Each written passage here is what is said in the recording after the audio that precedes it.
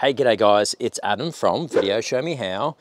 And in today's video, we're checking out the ALLPOWERS APS 2000 Pro. If you've been following the socials, you know that we've just come back from, from an epic three week trip to Cape York, very top of Australia. And this guy, we were testing the whole way. It powered our Starlink, our space internets, which enabled all the daily vlogs that you may have already seen on the channel. Now that we're back, I figured it's time for a full review. So without further ado, let's get started. So here it is. This is the ALLPOWERS, the APS 2000 and it's the Pro. The big difference with the Pro is this guy here and that is a 30 amp output perfect for RVs and that kind of stuff recreational vehicles like we've got there now from a stats perspective this is the big guy. You can get smaller versions here, but find this to be really good value compared to some of its competitors on the market for this size of storage and the inverter that sits within it. So it is an all-in-one power bank, similar to the other ones we've reviewed on the channel. This guy though has a 2,400 watt inverter built in. So that means anything you can run off a standard household grade plug, anything you run at home, you can run off one of the four AC points here, which is pretty awesome. It's also 1500 lithium watt hours of lithium battery, and that's a LiFePO 4, meaning that you're gonna get that two and a half to 3,000 cycles through it. So it's the one you want. To give you an idea, running that Starlink, Starlink was drawing about that seven to eight amps and according to our little display here that gives you a readout of how long stuff's going to last we could run that Starlink for about 30 hours non-stop which was just amazing dimensionally the thing comes in at about 37 by 24 by 25 centimeters and it weighs in at about 14 and a half kilos. So it is beefy but to be expected with this much juice storage. It has some really cool carry handles on the side, and I found those to be really easy to be able to pick the unit up and move it around camp, back in and out of the car and all of that sort of stuff. So overall, a nice looking unit. Now from getting power into the unit, there's a couple of different ways you can do it. You do have your AC input.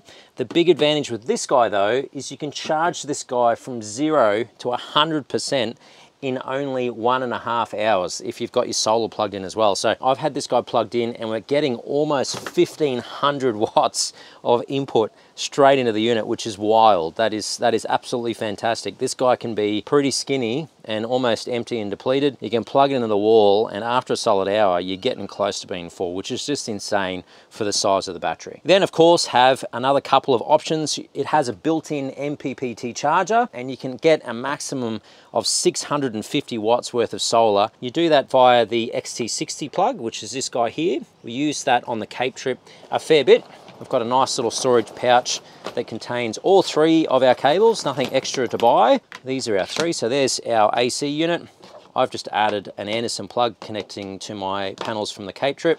But basically you just have your standard MC4 connectors straight into the XT60, which would then just basically plug straight into the front like that. The other option is charging from the car. So that's what this guy is for pretty standard stuff. You can get a really good charge out of this as well, which is about 10 amps. So really maximizing the max you can get from your car. We might just plug it into our unit here. We've got some AC, uh, some DC, sorry, straight off the Stormod. We're already plugged in. Untangle this guy and plug it in. We can plug it straight in the front. This will then sense that, hey, we've got a charge coming in. It'll switch on and then it'll automatically flick over and tell us exactly how much is coming in. So there you go, we've got 123 odd. That is excellent. It does give you a readout there on how long it's gonna take. That's pretty cool and nice and handy. Now from an output perspective, we've got a bunch of options. We have our AC. This is the AC pure sine wave inverter. You just hold that down there. You can see that flicks on there on the controls. We can see our fan automatically switches on there as well.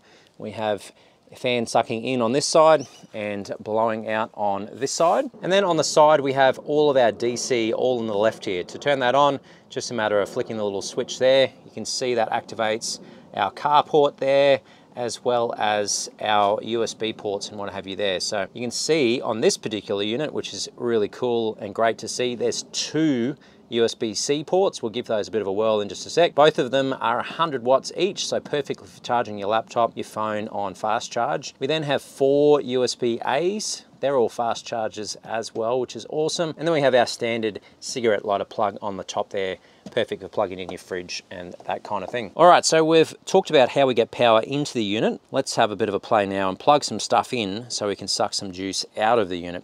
What I might do is turn the app on at the same time. I've just got it sitting over here. We go into Bluetooth here on the top.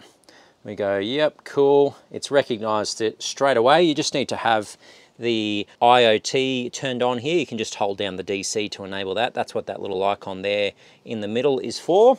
It's recognized, there it is, the All Power SP2000 Pro. We connect into that and there we go, we've got a live output. Now the cool thing with this is you have all the settings on the front that you're gonna need. So we can actually turn on and off. For example, here's our, our AC. We can turn that off directly from the app. So there you go, you can see that's turned off turn it back on directly. We can do the same for DC and it gives us a readout here of exactly what we're drawing on the side as well. So, so standard stuff, I reckon let's give the old uh, laptop a bit of a go. I've got a USB-C laptop uh, available just here, so let's plug in this guy and we can watch that in action. We should see the USB pop up on the screen there. Yep, it does. And then similarly here, we can see the output at about 42, 43 watts and we should have a little light on here somewhere.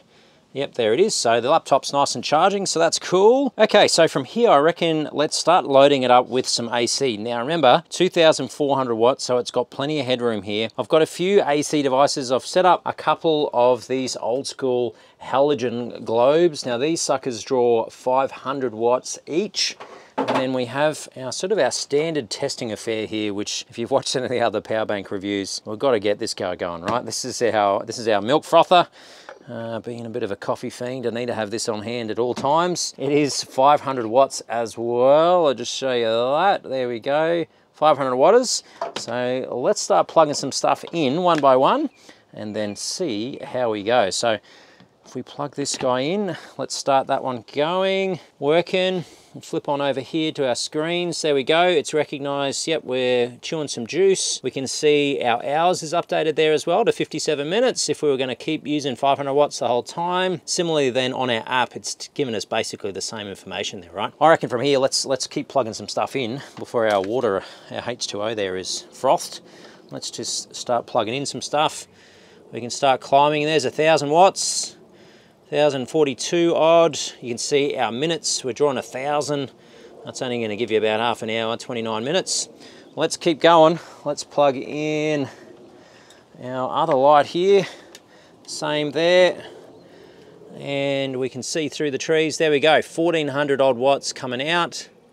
And similarly, 1437. So 39 watts, yeah, 39% there. It looks like our coffee's finished. Now I'll make sure I link in the video description down below where you can pick one of these up for yourself. And if you use my link down there as well, you will pick up a bit of a discount as well. So thanks very much to ALLPOWERS for getting on board and supporting all of you guys if you're in the market for picking up something like this for yourself. As always, guys, of course, massive thank you to the patrons of Video Show Me How. You guys, of course, as you know, are a bunch of legends. If you're keen to get involved with the Patreon, that does a couple of things. It sort of supports me bring out content like this for all of you guys. You get some, per, uh, some perks, some merch, that kind of thing along the way.